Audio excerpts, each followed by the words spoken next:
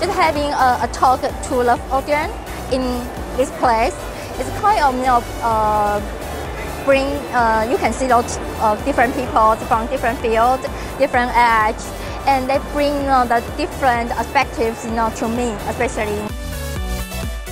Actually, getting children to actually understand science, to be curious, to be to ask questions is, is a fundamental part of actually someone engaging with science and uh, uh, asking those uh, difficult questions.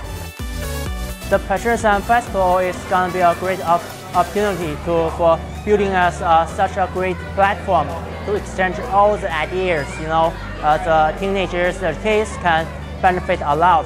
They can learn the knowledge about space, about the science, and they can feel it, touch it, and making the fun of it.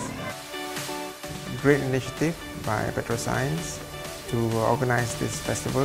Uh, I think a lot of uh, the general public can benefit from attending and listening to a few of the talks and even just visiting the booths. We are very excited on this very big event because we find that this is a very good opportunity and very good event for the kids and even for the adults to know more about the science and the STEAM education.